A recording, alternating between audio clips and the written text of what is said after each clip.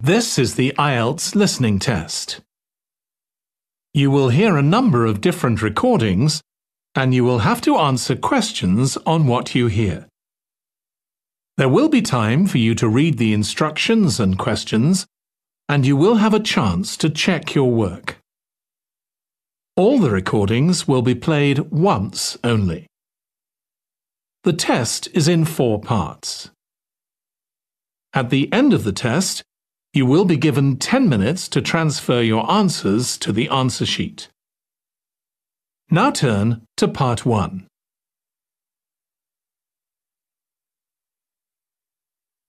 Part 1. You will hear a woman talking on the phone to a campsite manager. First, you have some time to look at questions 1 to 5.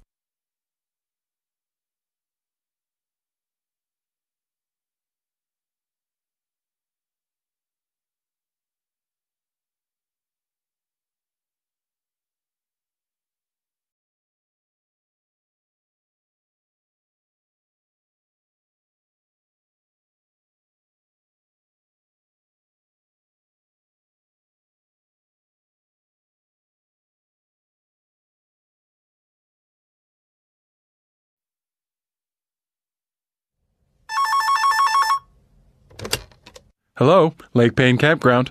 Can I help you? Oh, hi. Yes. Um, I wonder if we could book a site on your campground. Sure. My computer's down at the moment, so I just need to get a form. Okay. How many nights would you like to stay for? Um, well, ideally, we'd like to stay for five. Five nights. Okay. So when are you planning to arrive?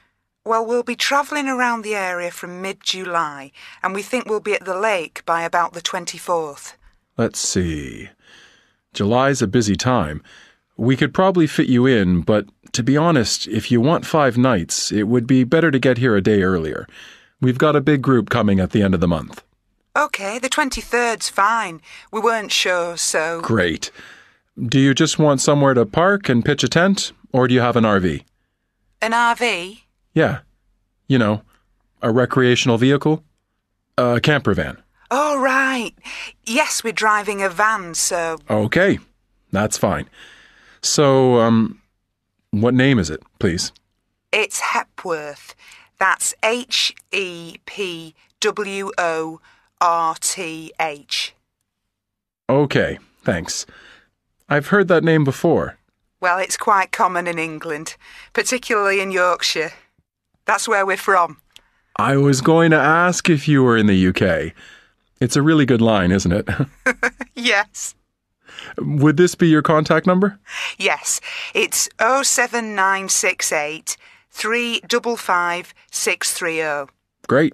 Thanks. Do you want my home number as well? No, that's fine. OK. We supply a number of facilities. I don't know if you're familiar with the way campgrounds work here. It would be good if you could explain. Well, you're coming in the RV, so would you like to hook up to our electricity? Oh, yes, please. You can also attach your vehicle to the water taps here. I hope it's all easy to do. Yeah, you just plug into the electricity and switch on the water. The people who hire out the RVs will explain it all. OK. And what about wastewater? Sure, you can have a site with a sewer. Or I think you guys call it a drain. That's a bit extra. Not all campgrounds have that facility, you see. Fine, we'll have it. So, what's the total and. Before you hear the rest of the conversation, you have some time to look at questions 6 to 10.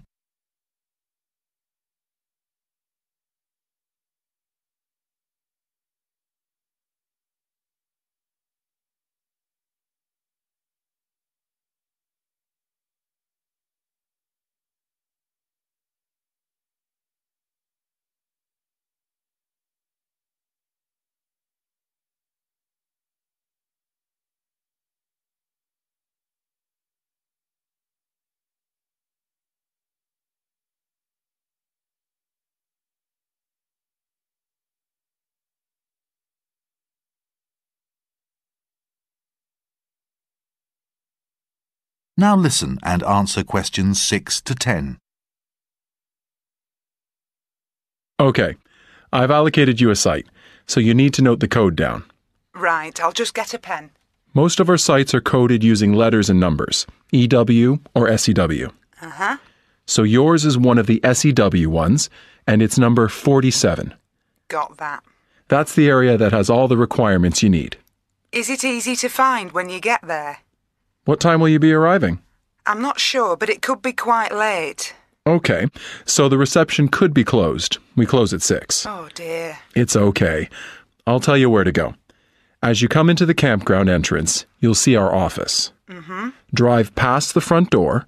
There's another office next to ours. That's the business office. Yeah, and there's a pool behind that. Okay. It will be good to have a swim. It's open till 8, so feel free to use it. Keep going past all those, to the end of the track. At the top, you'll come to a. At the very end, there's a laundry. Okay. Turn left at the laundry, and you'll see your own sites straight ahead of you. They're all clearly labeled. That sounds easy enough. Just before you hang up, um, we've had a few problems with campers with, um, stuff left lying around. Oh, Well, it may be an oversight, but we do ask our visitors to take away all their litter. Of course. Otherwise, someone has to clear it up. That's right. Also, in the morning, you know, we do have washrooms, and once the reception's open, you'll be able to get a key for the shower. Right. You can keep it while you're on the site, but could you return it when you leave? I'll make sure we get it back to you. Yeah, otherwise, we don't have enough to go around. Okay. Well, thank you very much. See you soon. Yeah, bye. That is the end of part one. You now have one minute to check your answers to part one.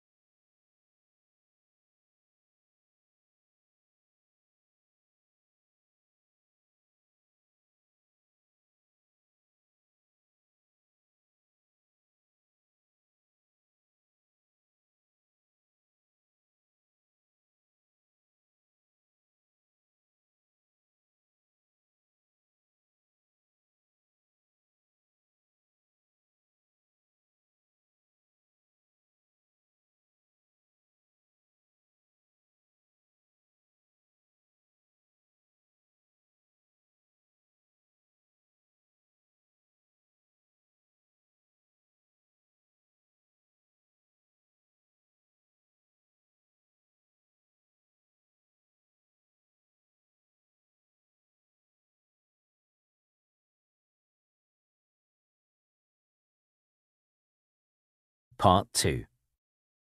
You will hear someone talking on the radio about colours. You now have some time to look at questions 11 to 14.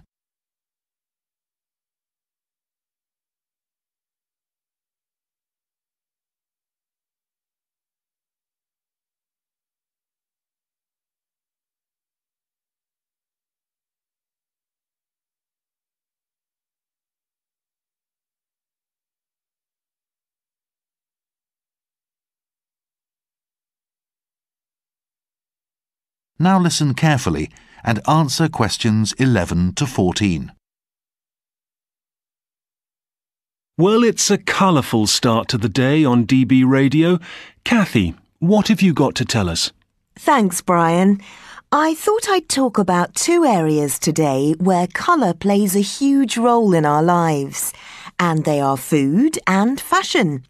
So let's start with food, and more specifically, food colouring. In many parts of the world today, people like the food they purchase to be the right colour.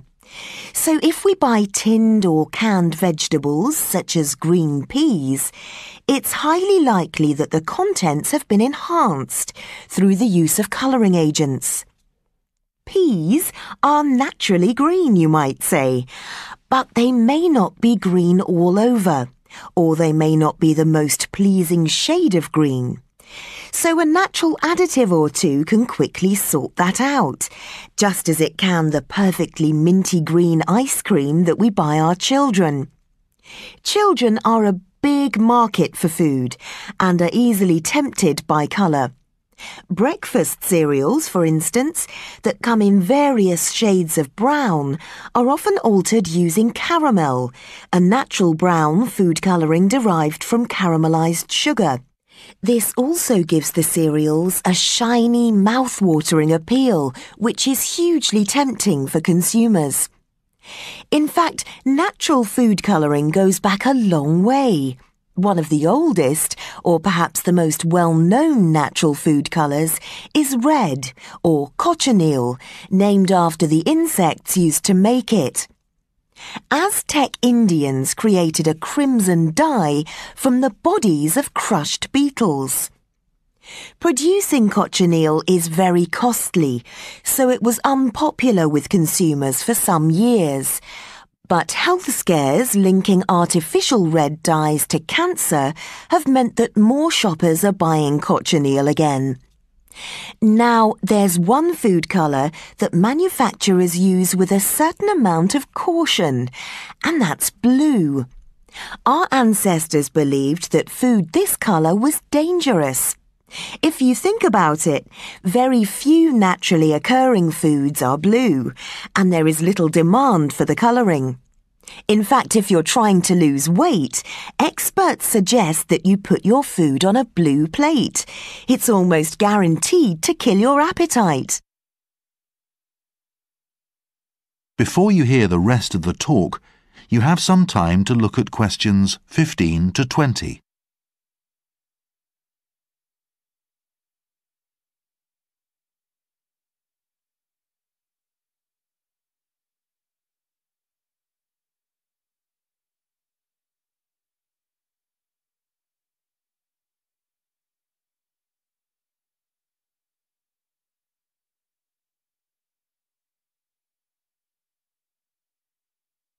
Now listen and answer questions 15 to 20. OK, let's look at another area where colour is a key issue. If you say you've bought something new to wear, often the first question people will ask is what colour is it? Yet the answer doesn't necessarily indicate that the colour was your preferred choice. As consumers, we have to balance how we feel in certain colours with what is fashionable at the time. You think you've suddenly developed a desire to wear orange, whereas in fact, the shops are full of it and you've ended up buying an orange shirt that may or may not suit you simply because it's this season's colour. Well, the interesting thing here is that colourists, as they're called in the business, have to look ahead and say what colour models will be wearing in fashion shows several years in advance. To get this right, they have to consider how long it will take to produce the cloth dyes, they have to set up deals with suppliers, and bear in mind the constant changes in consumer taste. So what may seem to be this season's colour has actually been agreed years before. So what do we think about the colours we wear? Like everything, our tastes alter with age. In general, though, we think that black makes people look and feel thinner, while red does the opposite. White goes with everything, whereas yellow is harder to match, and nothing alters the fact that there are certain colours that we never feel comfortable wearing. And finally, whether it's food or fashion, anyone in the business field knows that it isn't enough to get a product the right colour. Even the packaging has to be carefully designed in order to maximise sales. It's no good, for instance, wrapping an item in brown paper if you want it to stand out. Much better to go for eye-catching colours. Or in fact, in today's world, green has become very popular because it promotes the view that the company cares about the environment.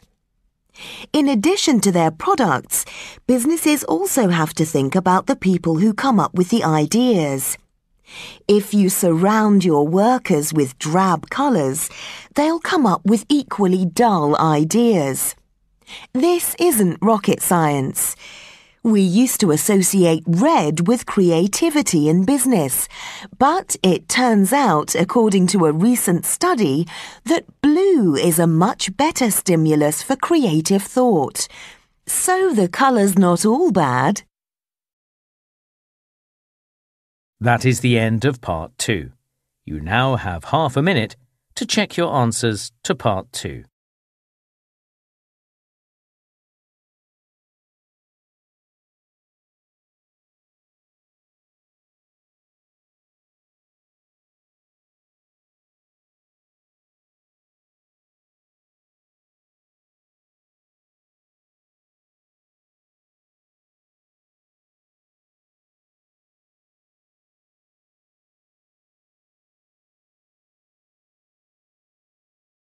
Part 3. You will hear a tutor and two students discussing international student mobility. First, you have some time to look at questions 21 to 26.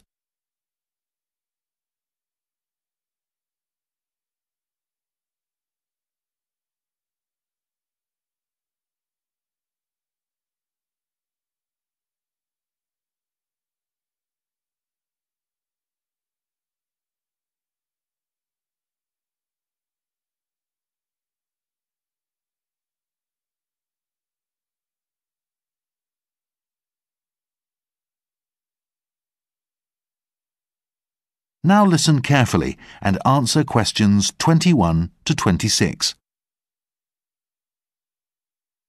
Hi, Nils. Hi, Eva. Come in and sit down. You wanted to talk about your research paper, is that right? Yes, we've drawn up an outline for the introduction and done some preliminary interviews. And how did that go? We've come across some interesting findings. Okay, well, let's go through what you've done so far. What's the subject? Right, so we're doing our paper on international student mobility. We're looking at the overall picture. You know, where overseas students are going in the world to study and why. And uh, we think that picture's changing. Hmm. Sounds interesting. The first thing we've looked at is numbers. And as part of that, um, how many students there are in total who are studying outside their own country. That seems easy. It looks like it's around 3 million. Yeah, but the problem is that the definition of the term international student varies across countries. Yeah, and because of that, the figure could be much higher. I see. Our next question was well, we wanted to know what the breakdown of numbers is around the world.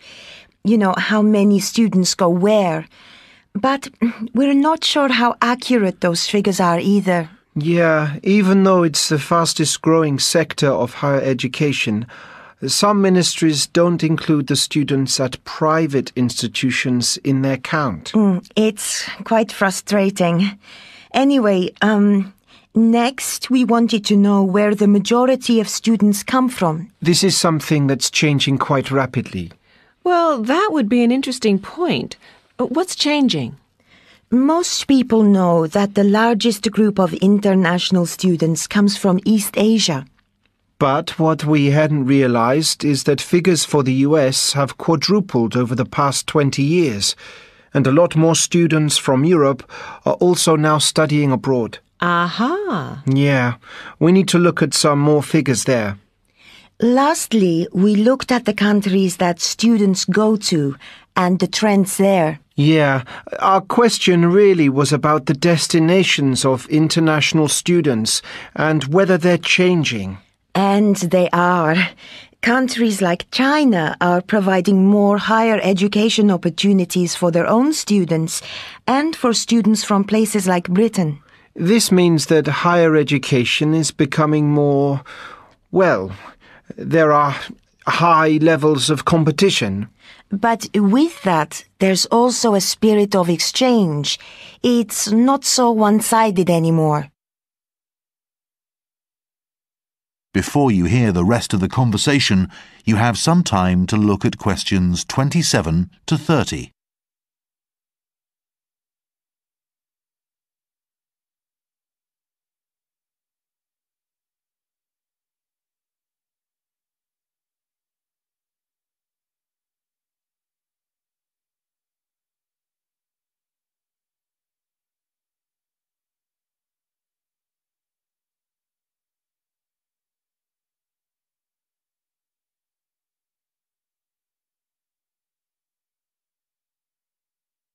Now listen and answer questions 27 to 30. So, you said you'd done some preliminary interviews. Yes, we thought we'd start by talking to some of the international students in our city. Just to help us design the web interviews we plan to do. Okay. We wanted to find out if there are common factors that students consider to be important when they choose an overseas course. Obviously, these will vary across the international student population, but we thought some, like cost, might be significant. Surprisingly, a lot of students said they left finances to their parents, but they did want to know that their university was a good one. They said they decided about this by talking to friends at home, not by looking at how many degrees or publications the staff had. That's right. But they were interested in the degrees they were taking and whether when they finished their course they'd get a good job. Okay. What else did you ask them about? What sort of incentives they think source countries should offer students to encourage them to return home after they've graduated? A very interesting question. What did you find? Well, many said that if they chose to get another qualification, they'd stay or move to a third country to do this. Yeah, so there doesn't seem to be much point in offering scholarships to get them to return home to study. What about grants for research? Post graduation. That was much more popular, especially if the system let them compete individually for these. And many students were keen to go home and get a job if they could be sure they'd have a good income and lifestyle. For example, they felt that the government should perhaps offer tax exemptions so that they could afford to live in a nice area. Some countries have created special work zones for incoming graduates, particularly in the science field. Yeah, and some of these include apartment blocks as well. Mm, but as many of the students we talked to were art students, this didn't seem to appeal to them. Okay. Well, I think that's a pretty good start. Let's just. That is the end of part three. You now have half a minute to check your answers to part three.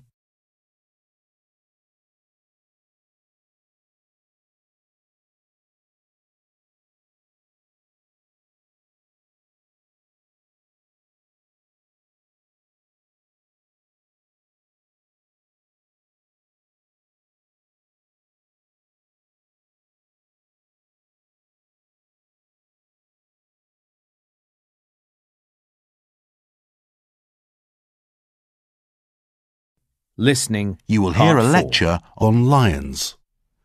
First, you have some time to look at questions 31 to 40.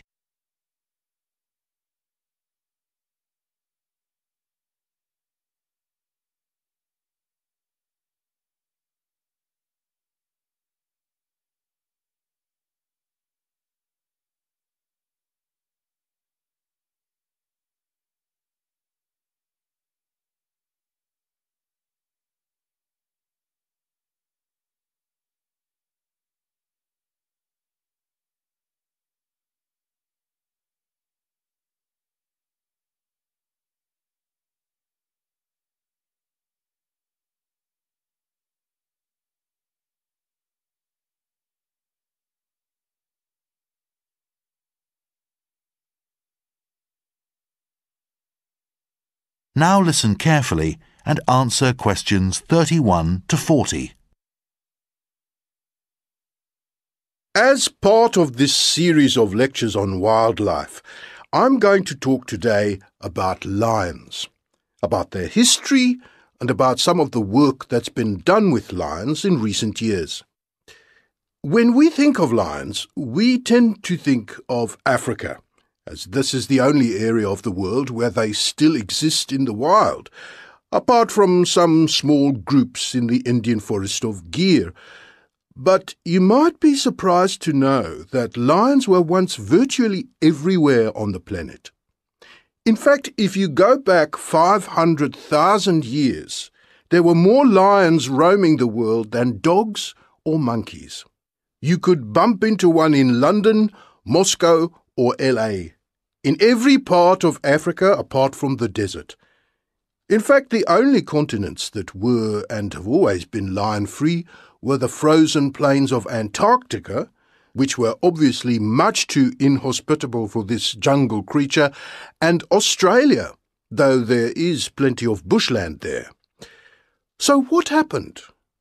Well, we know for certain that as recently as the 1800s, that's just 200 years ago, lions were being hunted to extinction in some parts of the world, sometimes just for sport.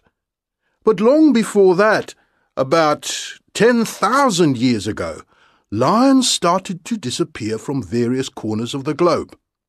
Scientists believe there was the usual battle with our human ancestors for food in the form of other smaller creatures, with many lions also being killed to make clothing. So lions may have gone from Europe, but there are plenty of prehistoric paintings to witness their presence and they reveal some interesting facts. Let's take a look. These cave paintings were found in France. The outlines are slightly blurred because they were hand drawn using materials like charcoal or ochre, but the images are still very clear, and the interesting thing is that, as you can see, in the past, lions were actually a lot bigger than they are now. They come up to this man's waist. You may think the size has been exaggerated because of the man's fear, but there's plenty of fossil evidence that supports the larger proportions these animals once had when you compare them with the African lions of the present day. The other curious thing here is that none of the male lions seen in cave paintings like this have the long, black or blonde hair around their necks and faces that is called a mane. Now, the lion's mane is another interesting feature of these creatures. No one seems to know much about it. There are none in cave paintings like these. And even today, the date when the lion's mane first appeared is unknown. And there is disagreement among scientists as to what its purpose is. A lot of work has gone into researching this. If you think about it, no other cat has a mane. So why does a lion have one? And a lion's mane can be various lengths and colours, not unlike human hair. Some are long, some are short. They can be black, brown, or blonde, and they can be in good or bad condition. What scientists do know is that when lions fight, they tend to go for each other's necks. And at first, this led some researchers to believe that the mane acts as a form of protection during battles with neighbouring prides. That may be partly true, but not everyone agrees it's the whole explanation.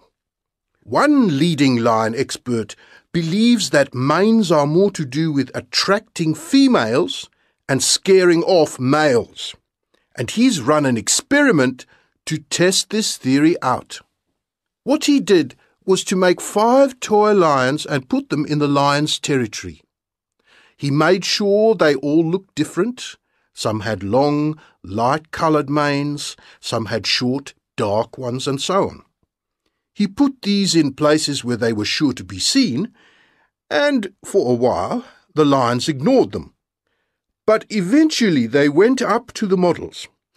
And, well, the female lions were attracted to the ones that had long, dark manes. The male lions weren't. They just kept away from them. What interested them were the ones with short, blonde manes. They approached these and bit or clawed them quite aggressively. When the results of this study were compared with the real world situation, it was found that lions with long, dark manes tend to be the healthiest, while ones with short, blonde manes are more likely to be injured or sick.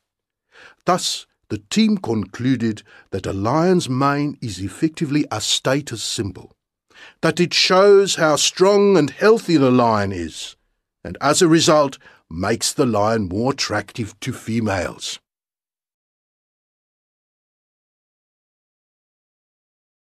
That is the end of part four. You now have one minute to check your answers to part four.